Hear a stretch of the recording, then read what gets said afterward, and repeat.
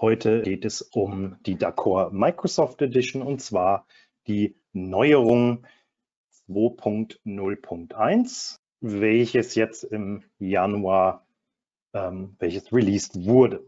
Und die Neuerung werde ich Ihnen heute hier zeigen.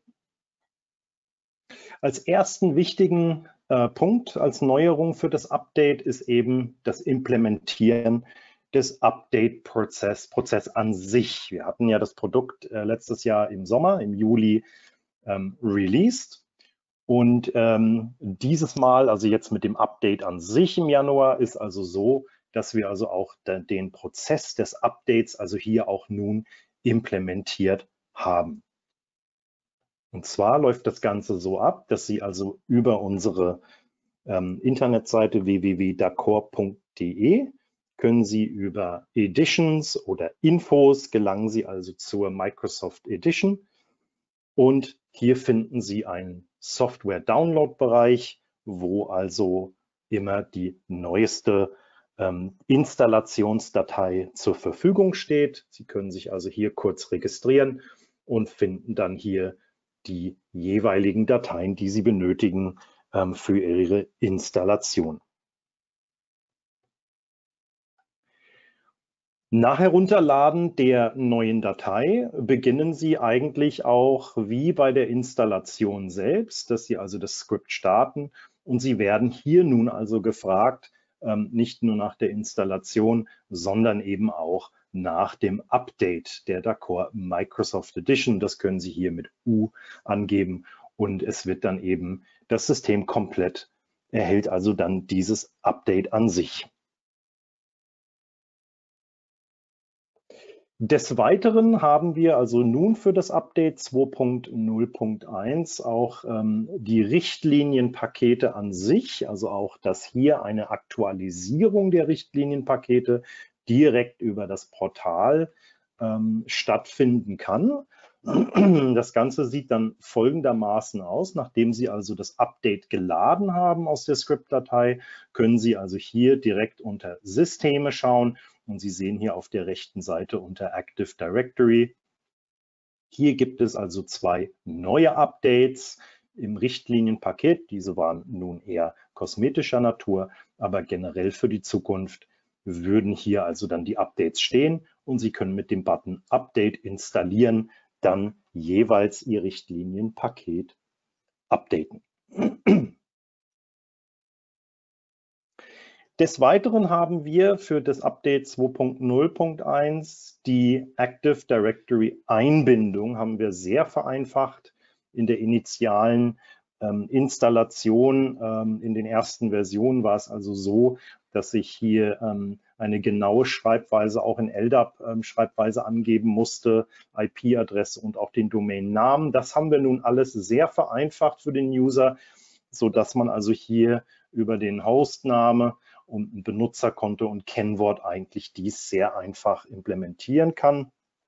Und im Hintergrund läuft im Grunde eine komplette, ein Automatismus ab. Das System sucht also den Host über eine SSL-Verbindung. Es wird ein Keystore mit dem SSL-Zertifikat erstellt und dann wird eben der DNS-Name des Servers ausgelesen und ähm, es folgt zu einem Aufbau einer verschlüsselten LDAP-Connection und über LDAP werden dann eben Domainname, Hostname etc. Ähm, ausgelesen und bekomme dann eben eine Verbindung. Also dies läuft ab sofort mit dem neuen Release komplett im Hintergrund ab. Da brauchen Sie also nichts zu tun. Die einzigen Informationen, die eben, die Sie benötigen, ist eben der Hostname, ein Benutzerkonto äh, mit lesendem Zugriff und eben das Kennwort dazu.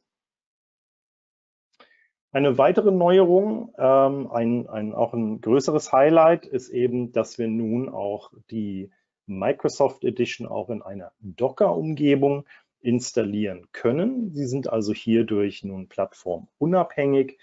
Ähm, ganz kurz ähm, zu Docker. Es ist eben also eine Container-Virtualisierung, ähm, ermöglicht eben eine sehr einfache und schnelle Bereitstellung der Software die Container an sich benötigen also wirklich weniger Ressourcen als eine virtuelle Maschine, da sie einfach das Betriebssystem an sich ähm, einfach im Kontext mit, ähm, die eben mit be benutzen können und läuft eben hier auf dem Host-Betriebssystem. Ja, sind also alle Anwendungen und ähm, auch alle Ressourcen sind also hier in sogenannten Docker-Containern ähm, verankert. Ja, es gibt also drei Komponenten, die also hiermit ähm, heruntergeladen werden über den Docker Desktop. Also Sie haben dort auch dann eine Script-Datei von uns und diese Script-Datei lädt die drei Komponenten herunter. Das ist einmal die Core, also das ist wirklich dann das, die Hauptkomponente des Systems. Dazu noch eine, eine Historie-Datenbank, das ist die MySQL-Datenbank und die Hauptdatenbank Neo4j, eine Graph-Datenbank. Diese drei Komponenten werden heruntergeladen und auch dann in dieser Docker-Umgebung installiert.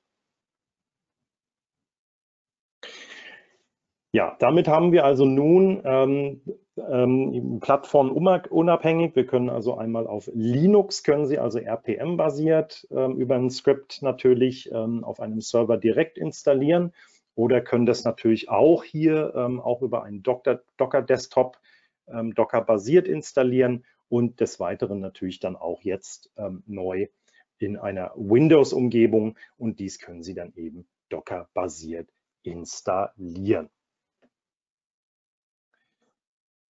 Das waren eigentlich die Neuerungen, die wir jetzt nun mit dem 2.0.1 herausgebracht haben. Es gab noch einige wenige kosmetische ähm, Änderungen, die wir noch vorgenommen haben, aber ich habe Ihnen jetzt hiermit mal die wichtigsten Highlights mal präsentiert. Wir werden auch in Zukunft ähm, alle Neuerungen, die wir also rausbringen für die Microsoft Edition in einem kurzen Webinar, auch als Video. Dies wird dann auch zur Verfügung gestellt auf unserem YouTube-Kanal, können Sie sich dann herunterladen oder auch anschauen und somit haben Sie immer über einen Überblick über die Neuerungen. Vielen Dank für Ihre Aufmerksamkeit und bis bald. Danke Ihnen. Tschüss.